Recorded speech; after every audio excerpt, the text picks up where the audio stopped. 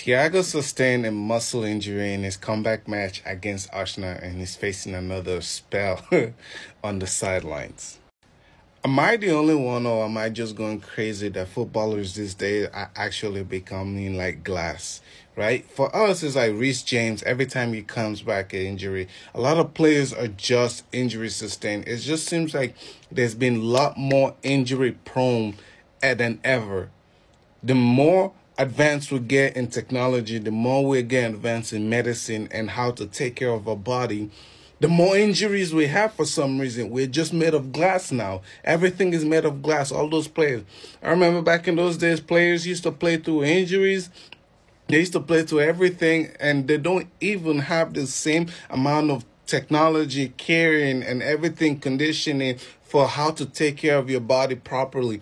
Nowadays, footballers has all the means and everything to actually taking care of the body.